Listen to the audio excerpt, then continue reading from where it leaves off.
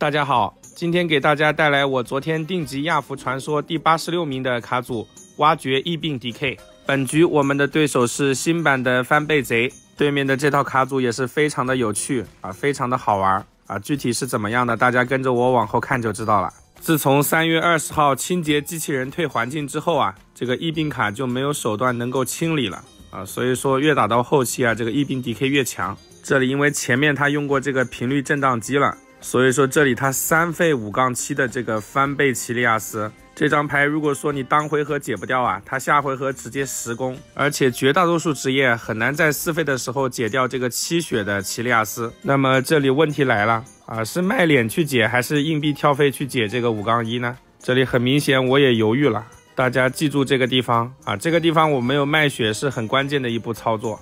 昨天我用这套疫病 DK，基本上是百分之七十胜率上的传说啊，所以说强度也是非常不错的。除此之外，我还用了另外一套这个彩虹 DK 啊，两套搭配着用。只不过说昨天没有更新作品啊啊，一天没玩游戏直接掉到九百多名了啊，所以说亚服这个人数确实很多。我们这套牌除了这个恶犬以外啊，我们还有特别多的这个回血手段啊，所以说这里我们要赶紧过牌，把我们的挖掘牌找过来。这里五费回合啊，它很可能要启动了啊！两费的这个机械机器人，然后再配合这个三费的蜘蛛机器人，啊，直接就是八杠九前行的机械。这种八杠九的前行机器人啊啊，绝大多数职业在五费的时候是处理不了的，所以这里啊我们就不管了啊，它这个只能是前行一回合啊，所以说还好啊。如果是一直前行，那我们就没法玩了。对面这道卡组是既有强度又有娱乐性。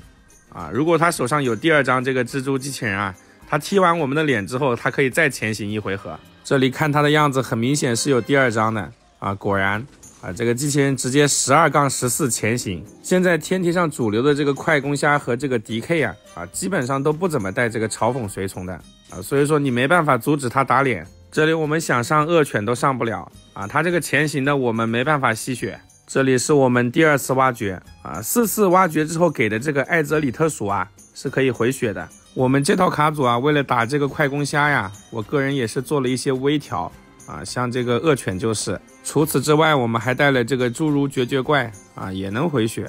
这里场攻的话还差五点伤害。这个无人机拆解器啊，它一共会给八种机器人，这里只有出风怒啊才能杀我们啊，概率是八分之一。